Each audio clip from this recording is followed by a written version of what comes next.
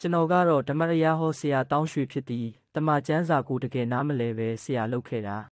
ကျွန်တော်ကယိုဦးပမာလူမျိုးလို့ဖះရှိခိုးလာတဲ့အချိန်မှာယိုဦးပမာလူမျိုးလို့ပြောခဲ့ပါတယ်ဒါကြောင့်ယိုဦးကကျွန်တော်ကိုတူတက်တဲ့နီးပညာဖြင့်ချပါနေပါတယ်မြေကြီးပေါ်မှာနေသောသူတေးဟူသောအတီးအတီးဘာသာစကားကိုပြောသောလူအမျိုးအနွယ်ခတ်သိမ်းတို့အားထာဝရဧဝံဂေလိတရားကိုဟောရသောကောင်းကင်တမန်တပါးက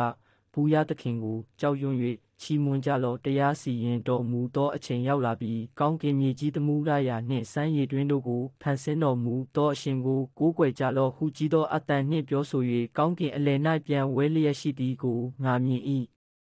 ဗျာဒိတ်ကျမ်းဆက်လေး6ခုနှစ်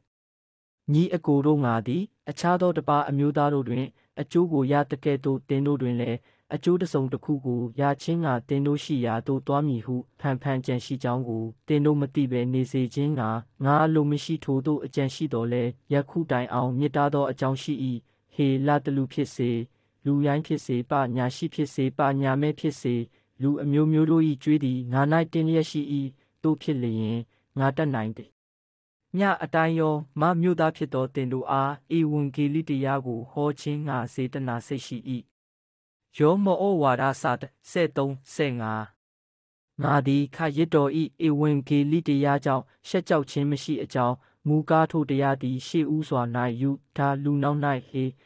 လာတလူယုံကြည်တမျှသောသူအပေါင်းတို့ကိုကယ်တင်စေသောဘူးရသခင်ဤတန်ခိုးတော်ဖြစ်၏ဘယ်သို့ဖြစ်သနည်းဟူမူကားဖြောင့်မတ်သောသူသည်ယုံကြည်ခြင်းအပြင်တတ်ရှင်လိမ့်မည်ဟု ကျမ်းစာလာသည်နှင့်အညီယုံကြည်ခြင်း၌တည်သောဘူးရသခင်ဤဖြောင့်မတ်ခြင်းတရားသည်ယုံကြည်ခြင်းအဖို့အလိုငါဧဝံဂေလိတရားအဖြစ်ထင်ရှားလျက်ရှိ၏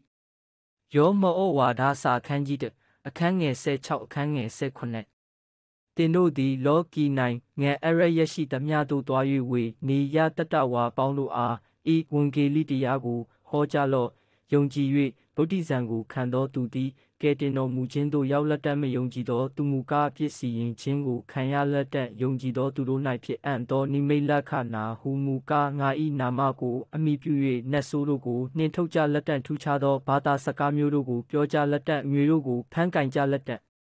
တေစီတက်သောအစိတ်အတောက်ကိုတောက်စားလျင်ဘေးဥပတ်နှင့်ကင်းလွတ်ကြလက်တတ်မှကြမ်းမှမာသောသူတို့အပေါ်မှာလက်ကိုတင်၍ချမ်းသာပေးကြလက်တတ်ဟုမိန့်တော်မူ၏